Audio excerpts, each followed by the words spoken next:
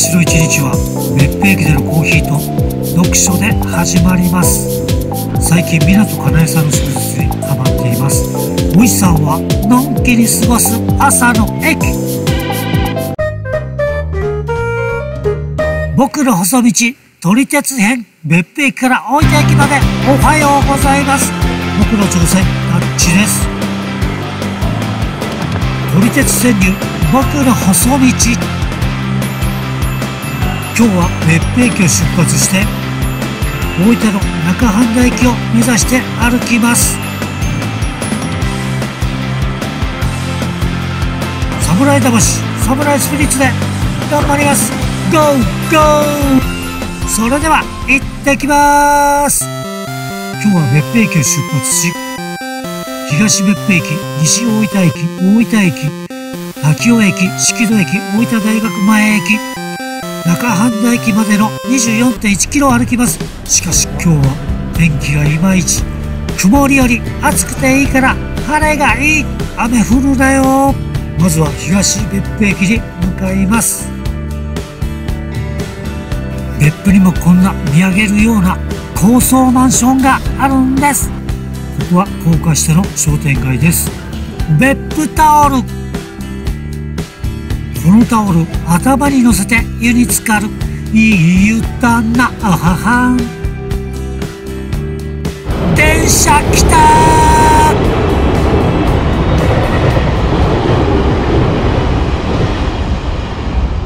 ガタゴト余韻を残し去る電車こ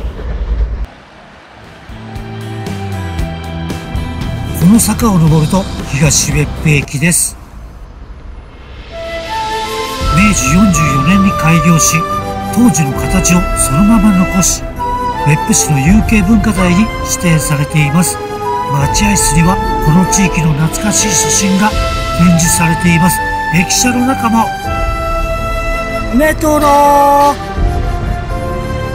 ホームはこんな感じです。ここだけが古き時代にスリップしバイバイ。大体いつも、普段は向こうの遊歩道を歩くんですが今日は電車に近い方の道を歩きます。線路がすぐ隣にあります。こういう時に電車が来るといいんですけど電車来た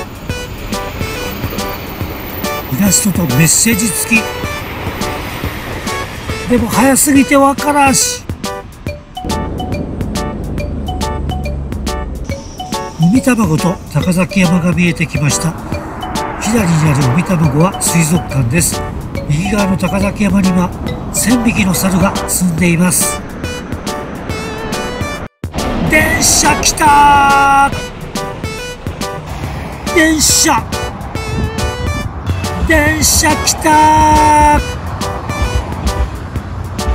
何本も先頭取れず過ぎていく後ろから来るからわからんし。GoPro の弱点電源スイッチ入れてから時間がかかるからとっさの撮影が間に合わないんです。かといって電源を入れっぱなしだとバッテリーすぐなくなるし地味に電車来た手入れが行き届いた植え込みこっちは荒れ放題。右左手入れに差がありすぎる。右も手入れしてあげて。大分市街地に入ります。西大分駅が見えてきました。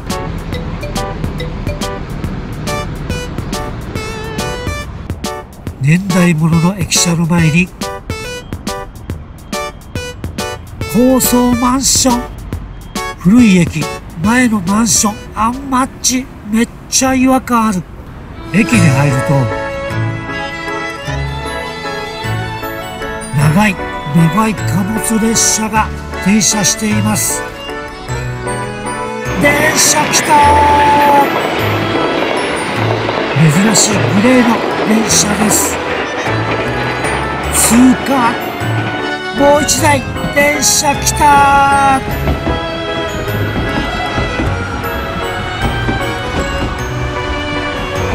このタイプにしては珍しく長い停車。あっち。ー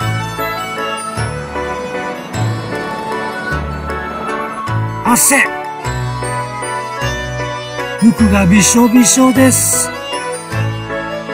でも侍魂侍スピリットで頑張ります。ゴーゴー。バイバイ。次は大分駅に向かいます。賑やかな声がすると思ったら園児の運動会のようです。かわいい。癒される。このままですくすく育て子供たち元気に育てよう。音がする。電車来た。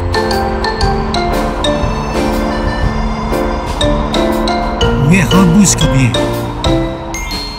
大分県というと別府市が有名ですが都市の規模から見ると断然大分市の方がでかいんです。大分駅です。行ってきます。駅前でイベントの準備をしているみたいです。でかいテレビ。大分で一番大きな駅です。あれ？駅名がない。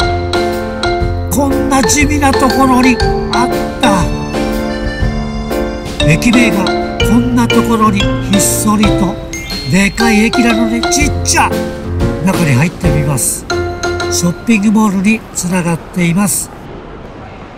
お土産品コーナーです。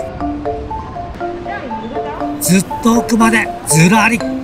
こっちは食べ物コーナーです。ここは改札口です。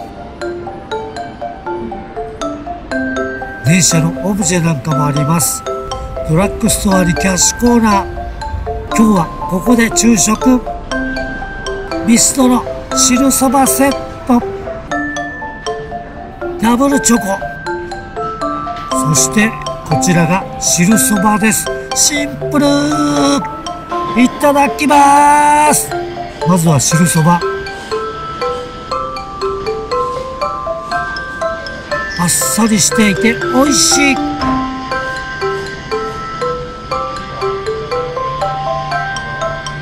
そしてドーナツです。うまい。疲れた時に甘いものは最高です。親父には似合わないけどミスト好き。うましら